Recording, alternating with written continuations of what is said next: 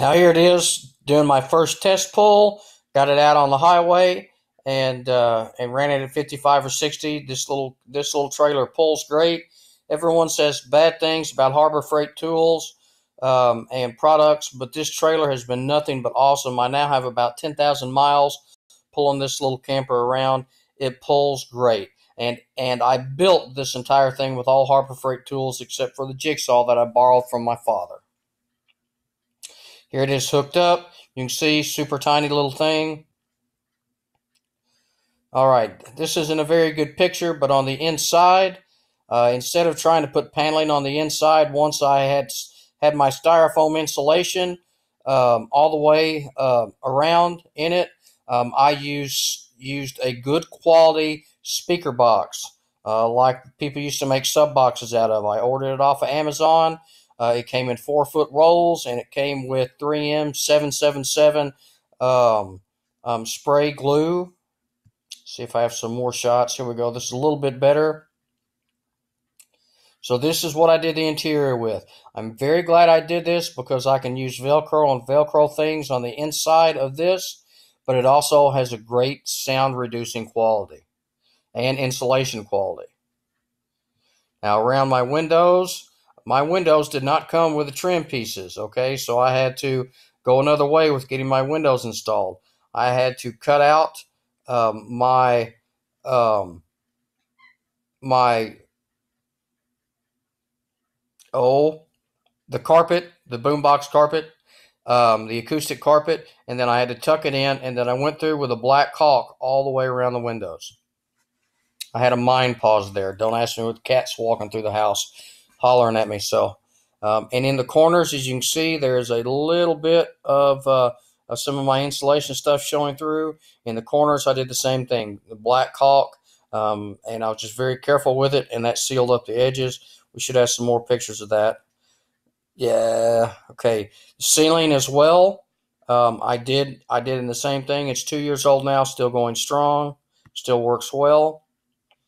It looks like a very professional quality install. I was very proud of this once I got everything in. I'm a triple amputee. I'm not going to get out in the middle of the night and put my legs on to go to the bathroom. This is a three gallon bucket with a, a, toilet seat lid on it, and I and I had some spare carpet left. This sits in the corner of the camper. This is for emergency use, um, so I don't have to try and throw my legs on and go find a place to go to the bathroom in the middle of the night if I'm camping.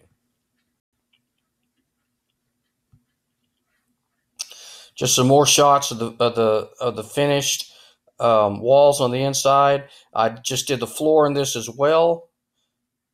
Just covered up my subfloor with a carpet.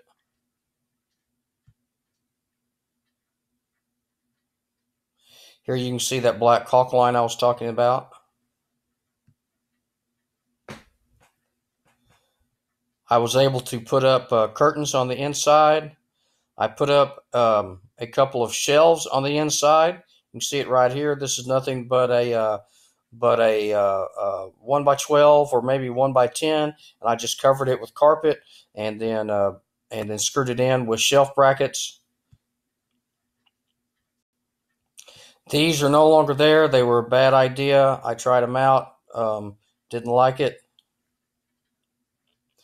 This is the front wall of the camper. This is uh, this uh, was a, a basic unit that I bought because I had to have my camper going. I had to have power in it. So I bought a, a cheap uh, little plug-in unit for my 12 volt. I now have that changed to something different. This is the back wall of the camper. So that's the galley wall right there. Put my battery up front. I have a water tank on on this thing now as well. So there's storage up front.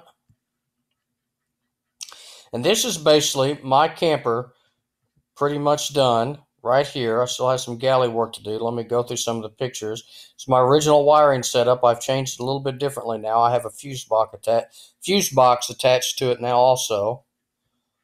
This is a melamine shelf board.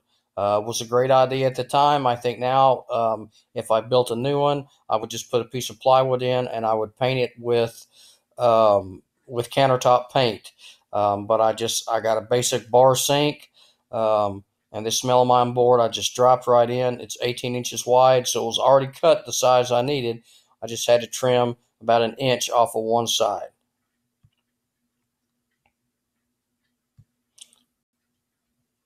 Plumbing is, is basic plumbing. Uh, if you don't have plumbing skills, look it up. Plumbing is pretty easy to do. There's my drain that goes out. Here's here is my my drain set up at the back side of the camper. This is the back roadside uh, driver side, if you will. Um, I have a, a screw in piece that goes with this and a, and a hose that runs way out, so I can either I can either drain into a tank or I can drain out onto the ground.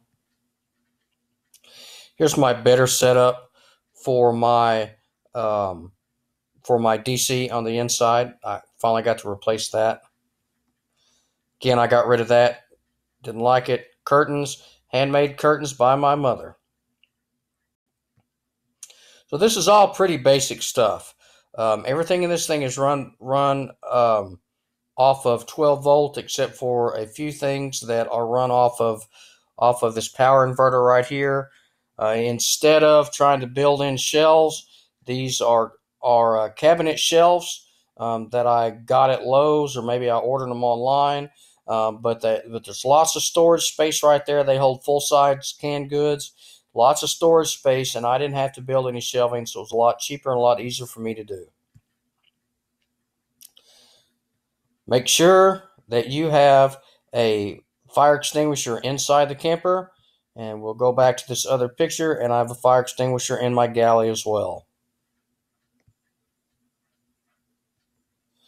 There's a camper behind my car. I, I ended up going from a uh, from my S10 truck to a car. I I pulled this camper for nearly two years with this little car with a four cylinder in it, and it did just fine. So the whole camper weighs about 800 pounds. Here's my water tank that uh, um, that I ended up putting on. Um, so it's an outside water tank. It's not inside the camper. It just sits right there, and I've got a water line that, and it's got a it's got a built-in water pump. Um, if you look at some of my other videos, you'll see I did a video on my water system, so you can take a look at that. I have a railing system that I put on put on. I think they call this J channel. I'm not sure, um, but I put this on the side so I could have a table there's me building the table just out of some of my leftover cutouts. So I have a table on the side. These are all just some ideas for you if you want to build one. Um, I, I love this thing. I camp in it all the time. I ended up building a cabinet for the inside, and I've gone through several several iterations with this camper. Now it's finally done, but I have a um, 16, 18 inch maybe uh, across TV. This is a 12 volt TV. I got it on Amazon Amazon for about 100 bucks. It does not it doesn't need a power converter. It runs off a straight 12 volt. Okay, so here's the here's the uh, um, cabinet all done. I cut it down several times. As you can see, there's my little emergency bucket. Um, so this is what the camper looks like now. Um, on the inside. So this is all done. So there's lots of cabinet space in here. Um, inside where I'm sitting now, you can see my reflection. I'm sitting up against the wall, uh, the front wall. This is a four foot by 72 inch um, space on the floor uh, of this camper. And so that's basically a, a double bed. Um, and it sleeps two people comfortably in this double bed. I know because our last trip to Florida, we thought a bear was running around outside, and my son got freaked out and jumped in the camper with me. And we both slept in here, no problem. You think four foot's not very wide, but when you have the uh, the walls that you can lean up against or get right next against and not fall out of the bed, you've got lots of space. All right, so we're through with this. This is my camper build. Please leave comments if you have any questions uh, feel free to uh, um, to me- to message me or leave them in the comments. Uh, let me know what you think. Thanks, guys, and I have new videos coming out soon.